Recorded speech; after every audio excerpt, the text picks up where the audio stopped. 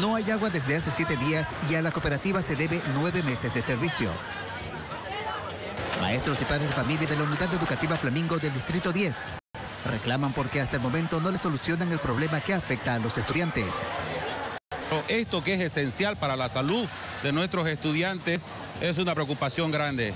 No tenemos ni una gota de agua, tenemos que mandar, a veces hasta nuestros profesores tienen que ir a hacerse regalar agua de los vecinos en balde para poderles dar. Ya son siete días que están sin agua nuestros niños y ya no se puede, es insoportable el baño, la necesidad, usted sabe que el agua es primordial.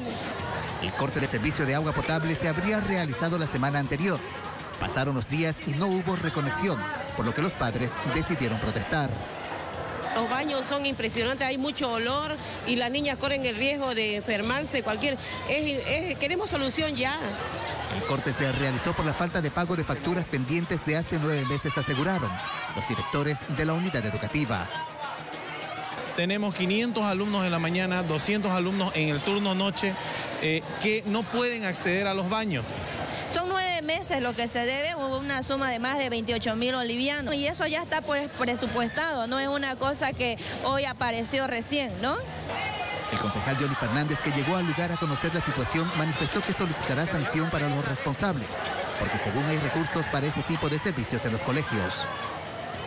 Como concejal, voy a solicitar que se lo destituya del cargo porque no sirven, incumplimiento de deberes y que no vengan y le mientan a esta gente, a los vecinos, a los alumnos.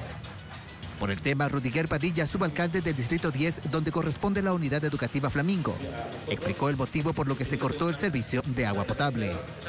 Lo que tuvimos ahí fue un pequeño problema en el, tema de la facturación.